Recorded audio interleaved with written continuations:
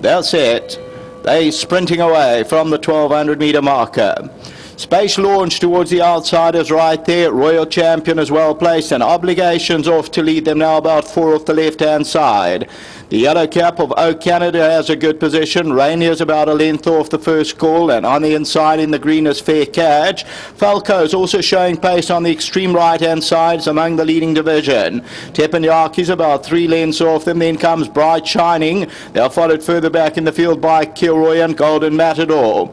As they settle down to race, Rainier just about the leader. Obligation is there. Space launches on the stand side. Falco's towards the inside about two and a half lengths off them. Then comes Fair Catch. Golden Matadors in the yellow also trying to put in a claim. Jack Friday's trying to get into the race. It's Rainier there that's gone clear. Obligation now going to have to pick up. Running on down the inside is Bright Shining and now followed by Falco. Still Rainier though as they get to the last 200 metres. And it's Rainier in front now trying to throw out the challenge and coming well on the inside is Bright Shining. And Bright Shining's coming on powerfully now. Bright Shining's going to get up. Rainier second, Space Launch third and Falco fourth.